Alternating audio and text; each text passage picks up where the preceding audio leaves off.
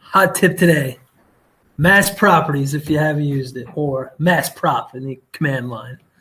So you have an irregular shaped object, you want to know where the center of gravity is, or maybe you want the moment of inertia, you can use it for any built up type of shape you have.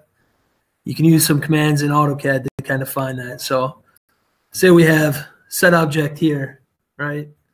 I'm not sure if the LT version allows you to do it or not, but there is a geometric center. So the thing's got a uniform structure to it, right? The weight's the same throughout. You could just use the geometric center. That'll give you your center of gravity for the piece. All right. In cases where it's not, you can use a the mass property. In order to do that, you got to use a region. So you look right now, this is a polyline. I'll typically copy that, move it up. I usually use an offset that's like a set amount, so you always know what it is. In this case, use 10 feet. Then do mass prop on the command line. Pick your object. Oh, I'm sorry, I got to make this a region first.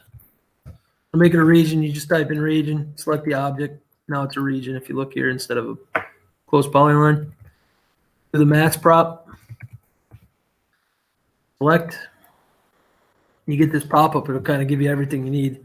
So the centroid, it gives you a point. That's just a point in space. So now if you did the point command, you could just punch in those coordinates and you'd see it'd be right in the center of it. If you want to use the moment of inertia feature here, you can see it's kind of gigantic right now, right? It's calculating it about the zero x-axis and the zero y-axis. So if you want to know the actual moment of inertia, say this was a built-up I shape, you'd have to move it, use that grip point, and then set it at zero zero. That makes sense. So if I had to do this, I would take this. I know that that point's uh,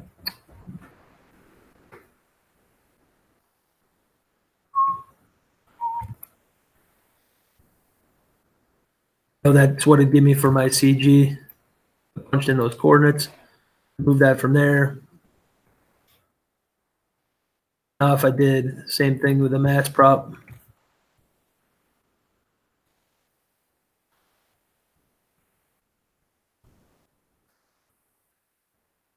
Give you the moment of inertia about that point. It's still gigantic because it's a big body, but you get the idea.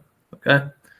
You can see the CG is kind of adjusted as far as uh, where it is. It's at zero zero now, but you know. Okay. Other thing it's useful for is say you had a plate girder, cover plates on it. You know, if it's nice and symmetrical, it's pretty easy. The CG is going to be at the mid height and mid length. If you have cover plates that are offset to one side, maybe in like a demo operation, you got cover plates set off here. So you can't just assume that it's going to be at the center. Obviously, it'd be farther out to the left. So you make a bounding box around all of the plates or the whole girder, right? It looks kind of like this where you have the step. Now the weight in and out of the page, the uh, thickness of everything doesn't change, so you can still use the center of it there. But if you make this a region now, which I already did, did the mass properties, you'll get the same thing. All right, I'll give you another coordinate as to where the centroid is, and you can use that in any calculation or anything you had there. For the X and Y Sure. on the centroid, Yep. is that always, always with respect to the bottommost, like this, this point that would be like right here? So down, the down by the thickness of the cover plate, or what's the the centroid is referenced from zero zero. So let's just look at that real quick. If I punch in a point now, from um, zero zero in model space? zero zero in model space, yeah. So if I'm specifying a point, I punch in eight ninety nine point eight four three four, comma one fifty. It makes it right there. So it's always from zero zero. If I did the same thing with it over, like in this area down here, it would give you the point and negative coordinates. So it's kind of foolproof. Yep.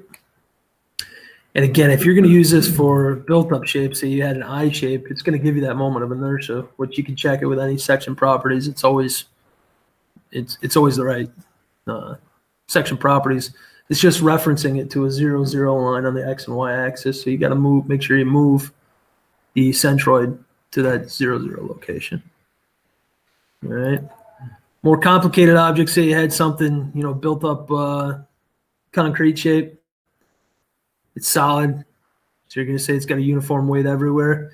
If you draw that in 3D, you can do the same thing. Or it'll give you the centroid in three dimensions. And that's the same idea. So again, if I punch in that point using all three coordinates, I mean, that's where the, the CG of the whole thing is. You can kind of skip the, the calculation.